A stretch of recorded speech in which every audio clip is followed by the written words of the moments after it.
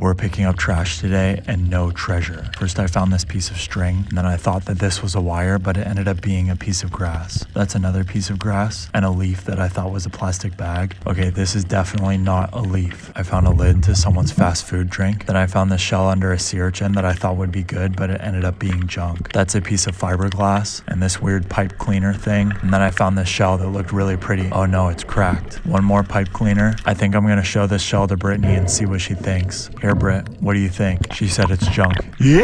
Okay, that's all the stuff we saw. Bye.